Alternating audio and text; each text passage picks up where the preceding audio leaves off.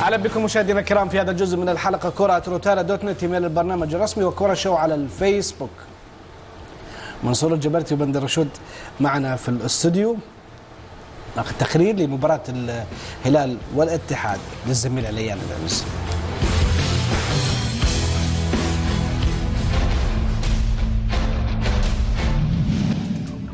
تتجه أنظار عشاق كرة القدم مساء الغد إلى العاصمة السعودية الرياض. حيث لقاء الهلال بالاتحاد في الكلاسيكو المنتظر. الجولة العشرون من بطولة دوري زين السعودي للمحترفين وقمة القمم. قصة طويلة من التنافس لكنها مساء الأحد لا تحتمل أكثر من 90 دقيقة لكتابة أحداثها سطرا سطرا على أرض استاد الملك فهد الدولي بالرياض. قد تكون مباراة الغد هي الفرصة الأخيرة لتأجيل حسم لقب الدوري للزعيم.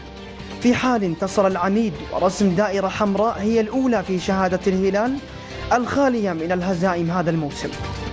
الهلال لتأكيد الصدارة والتقدم خطوة جديدة نحو اللقب.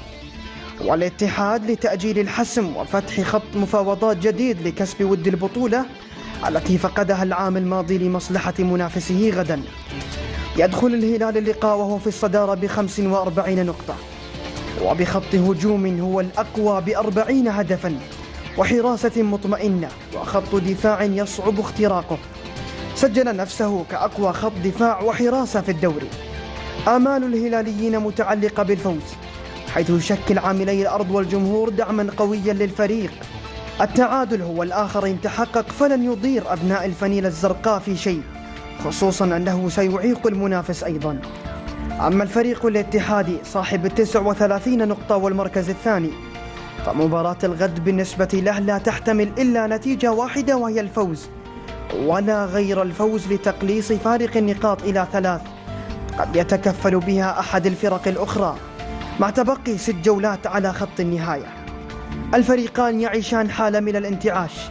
في ظل تحقيقهما انتصارين مهمين خارج قواعدهما في دوري أبطال آسيا وهذا ما يبعث التفاؤل بمتابعة لقاء يليق بسمعة العملاقين حتى في ظل غياب أكثر من نجم عن صفوف الفريقين.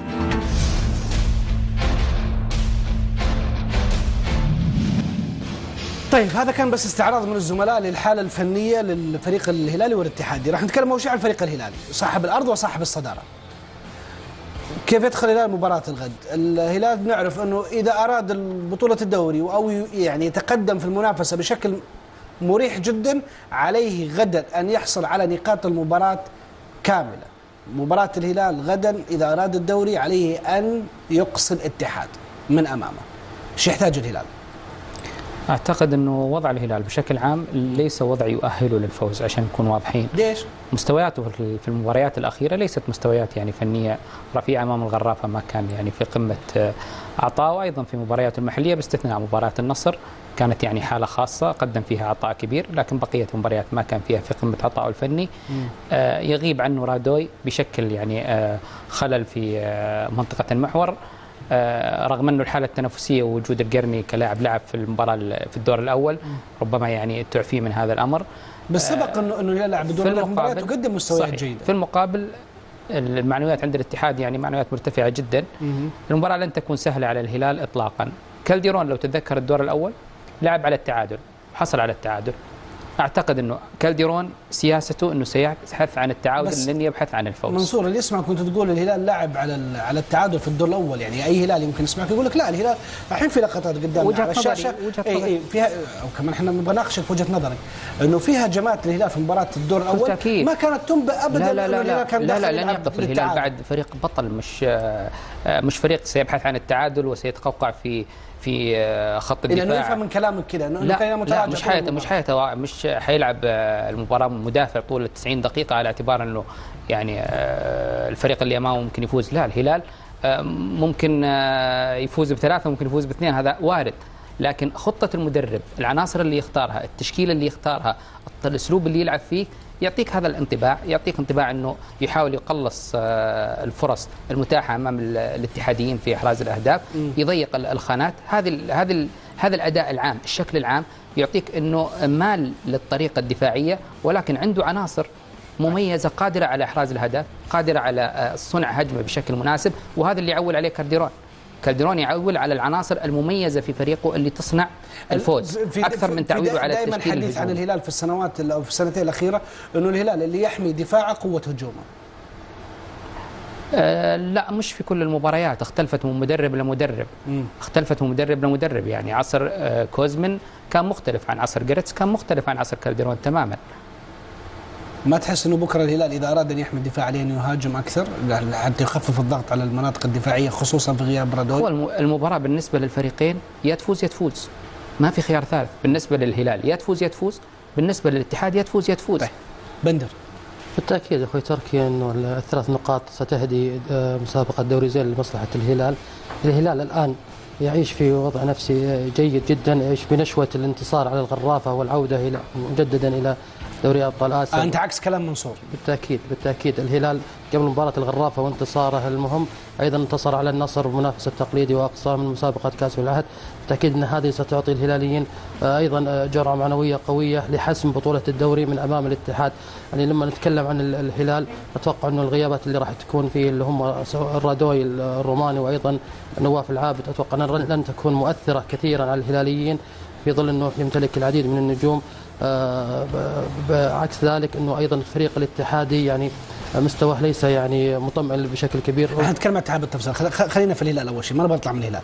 ال- ال- ال- الحالة الفنية للهلال تقول كالتالي واصل المباراة النهائية آه، عنده ست نقاط يبتعد فيها عن صاحب المركز الثاني في الدوري حقق مباراة خارج القواعد في البطولة الآسيوية حقق فيها النقاط ال- آه، الكاملة. منصور يرى أنه بهذا المنظر أنه الهلال فنيا لا نتائجيا.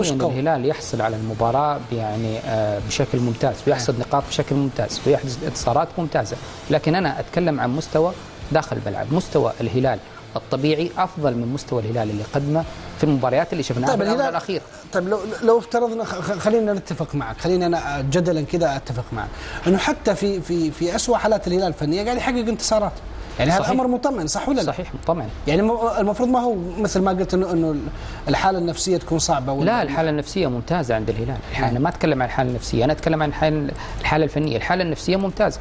حاصد آه، آه، فرق ست نقاط والدوري على وشك خطوة. لو حصل عليها حيحقق البطولة يعني فوزه بكرة يضمن للهلال البطولة بغض النظر عن المباريات ال- الباقية. صحيح أنه نقطيا ورقميا والحسابات لكنه آه، بوضع الهلال الفني وبقدرات لاعبيه المتميزة وبقياس المباريات المتبقية للفريقين يعطي يعطي يعني انطباع كبير إنه الهلال يعني حيحسم الدوري. لو فاز في مباراة بكرة. أنا ما أتكلم عن الناحية النفسية ما أتكلم عن القدرات ال- ال- قدرات الفريق قدرات عالية جدا آه، قادر على حسم المباراة. ولكن أنا أتكلم عن الناحية الفنية. في مبارياته الأخيرة محليا واسيويا طبعا باستثناء مباراة النصر خذها من برا الموضوع. ليش؟ لأن لأن كانت مباراة مختلفة. الهلال فنيا كان في مباراة النصر ممتاز. فهذه المباراة طلعها برا وقيس باقي المعطيات. نتكلم عن الاتحاد. بالتأكيد أيضا أخوي تركي الاتحاد راجع من طشقند بنتيجة مهمة في دوري أبطال آسيا أمام بندكور الأوزبكي. أخذها بنفس طريقة الهلال؟ اللي هو النتيجة ولم يكن يهتم بالمستوى أمام الغرافة؟ والله للامانه أنا تابعت أداء الفريق الاتحادي؟ لا أنا تابعت مباراة الاتحاد أخوي تركي الاتحاد كان آه، ند آه، قوي للفريق فريق بدنكور. استطاع أنه يعني يشكل العديد من الهجمات. الدفاع الاتحادي كان في أفضل حالاته. آه، كان اللاعبين بشكل عام مركزين كثير في الملعب واستحقوا الثلاث نقاط. أتوقع أن الثلاث نقاط هذه راح تكون أيضا دافع للاتحاديين.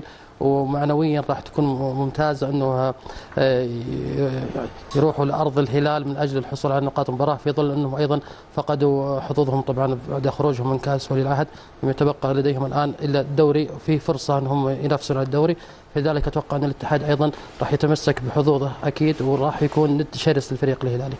منصور الاتحاد الاتحاد ما بين مباراة بيروزي وبنديكور والمباريات المحلية اللي لعبها بين المباراتين فنيا قدم مستويات جدا كويسة. طبعا غياب نور بكرة حتى لو لعب نور يعتبر في حالة يعني آه، آه، طبية آه، ما تسمح له إنه يقدم كل عطاء أو ذروة العطاء الفني له لو لعب. غياب نور أيضا يشكل مشكلة. أكيد بتقول لي ليش يعني غاب المباراة في الآسيوية ما كان موجود وقدم الفريق أداء مميز؟ لكن في المباريات اللي فيها ندية وحسم وضغط نفسي كبير نور آه، يلعب دور غير الدور الفني. الدور المعنوي. الدور المعنوي. طيب الحين لما وهذا وهذا اللي يخلي نور موجود طيب. مع اللاعبين في الرياض. يعني لما نقول الهلال الفريق. رادوي وما تأثر. الاتحاد يغيب نور يتأثر؟ لا ما حيتأثر لأن المباراة الأخيرة نور ما كان موجود لكنه نفسيا لو كان موجود حيعطي دفعة إضافية لكنه تأثير ما حيتأثر. يعني لاحظ رادوي في الهلال هو تأثير فني أكثر مما هو تأثير نفسي. نور مع الاتحاد تأثير نفسي وتأثير فني. طيب. من أحوج المباراة غدا الهلال طبعا. أحوج من الاتحاد حيحسم بطوله تقريبا تقريبا. واكد على كلمه تقريبا حيحسم بطوله. بندر. بالتأكيد الاحوج للمباراة الفريقين بشكل عام آه، كل كلهم في حاجة واحد. مباراه لكن الاتحاد في حاجة ماسة للمباراة لكي يعود للمنافسة. ال- الثلاث نقاط ستعطي الاتحاديين آه، رغبة أكثر في العودة للمنافسة. في ظل بق- بقاء ست جولات واستطاعت ال- ال- الاتحاد إنه يواصل والهلال ممكن إنه يتعثر في أحد هذه الست جولات فممكن نجد أن الاتحاد منافس يعني أو يعني أنهى الفارق النقطي بينه وبين الهلال. طيب فاصل